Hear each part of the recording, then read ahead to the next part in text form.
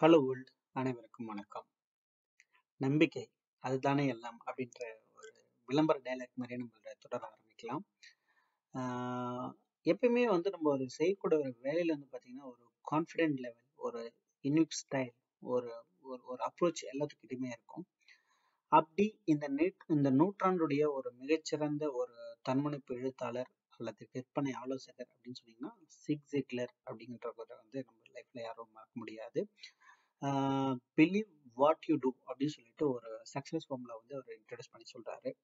அப்படின்னா என்ன?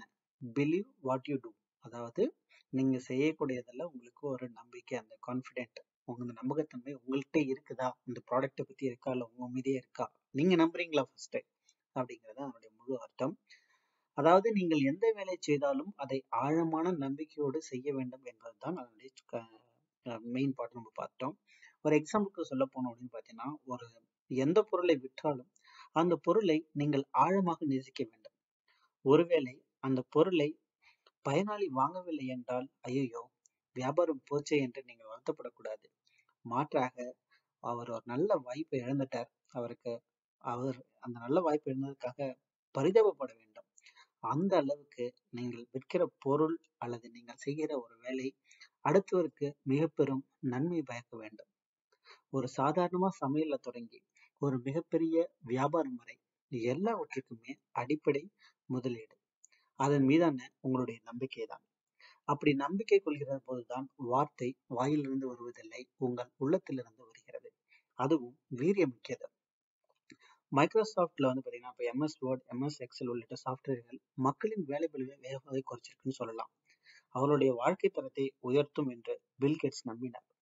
நானோ கார் நடுத்தர மக்களின் அந்தஸ்தை உயர்த்தி வெயில் மழை போன்ற இயற்கை இடர்களிலிருந்து அவர்களை காத்து அவர்களுடைய அன்றாட வாழ்க்கையை வேகமாக முன்னெடுத்து செல்ல உதவும் என்று ரத்தன் டாடா அவர்கள் நம்பினார்.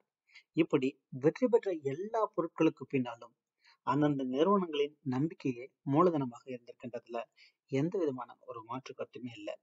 இப்ப நீங்க செய்யற வேலை அல்லது நடத்திக்கிட்டு இருக்க வியாபாரம் பற்றி சற்று கொஞ்ச நேரம் யோசிச்சு பாருங்க.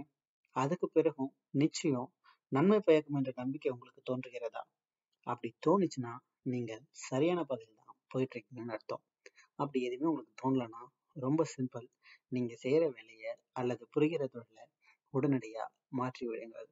வெற்றிக்கு முக்கியமான formula believe what you do do what you believe என்பதுதான். இது சக்சஸ் மீட்டர் கடைசி பக்க கட்டுரையில எழுத்தாளர் தன்னுணர்வு பேச்சாளர் ராம்குமார் சிங்காரம் அவர்கள் எழுதிய நம்பிக்கை அதுதானே எல்லாம் அப்படின்ற ஆர்டிக்கல்ல குமுதம் சிநேகிதி ஒன்று ஆறு ரெண்டாயிரத்தி இருபத்தி மூணுல பேஜ் நம்பர் எயிட்டி டூல வெளியாயிருக்கு.